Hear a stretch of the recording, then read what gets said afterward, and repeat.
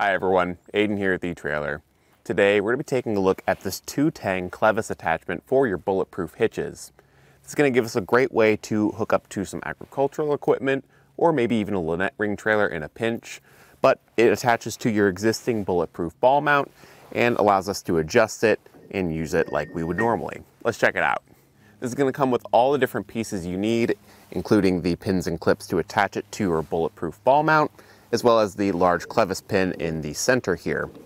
That's going to be a one inch diameter and have two and a half inches of space in here for those lunette ring trailers, your drawbars, or maybe even a tow strap if you need it. With all three of these pins and clips, this will allow us to adjust the height of it. Now, obviously that range of adjustment is going to vary depending on the bulletproof hitches ball mount that you're attaching this to and how much rise or drop it allows. So do just keep that in mind depending on what we're using this with.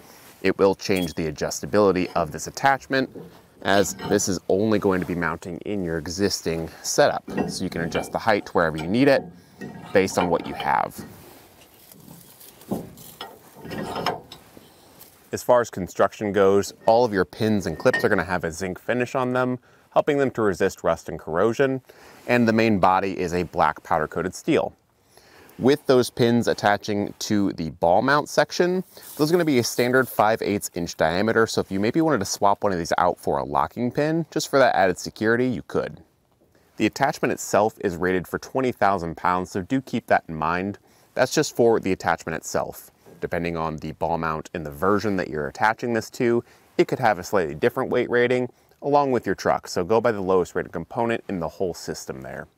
The distance from your mounting pins here on the ball mount to the clevis pin itself is going to be 4 and 5 16ths of an inch, so that lets us know about how far our trailer or our hookup point is going to be from the ball mount itself. As far as hooking up to your trailer goes, it's going to be a straightforward process.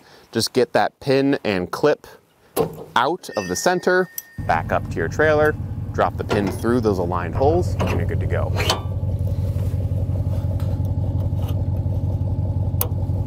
One thing I will say about the bulletproof attachment here versus a standard pin that you might find elsewhere is the pin that comes with this kit is really nice.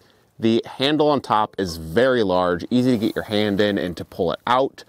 And then at the very bottom, the bevel on the pin is really long. So if you're not perfectly aligned, it's gonna help feed that pin through all of the holes, even if we're not perfectly aligned. Whereas something like this with a flat bottom, you have to really be spot on to get that through easily. So this whole hookup process here is gonna be a lot easier. And that's really all there is to it. If you're looking for a simple way to hook up to your drawbar or a lunette ring trailer in a pinch, and you already have one of these bulletproof hitches adjustable ball mounts, then this attachment is great because it just slides right into that channel you can adjust it up and down and use it with the equipment you already have.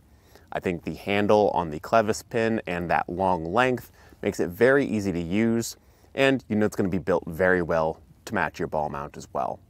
But that'll do it for a look at the clevis attachment for your bulletproof hitches. Thanks for watching.